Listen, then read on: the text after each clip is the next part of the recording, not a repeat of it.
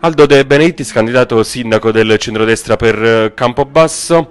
Ormai ci siamo, ultimo appello al voto per i cittadini che saranno chiamati di nuovo alle urne. Perché confermare a lei la fiducia e far cambiare strada a Campobasso?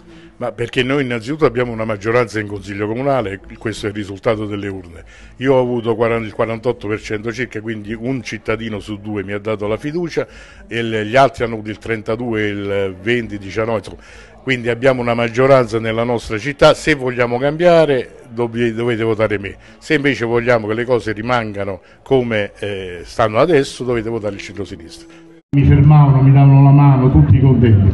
Speriamo che riusciamo a confermare questo successo che abbiamo avuto. Noi oggi siamo in maggioranza al comune di Campobasso.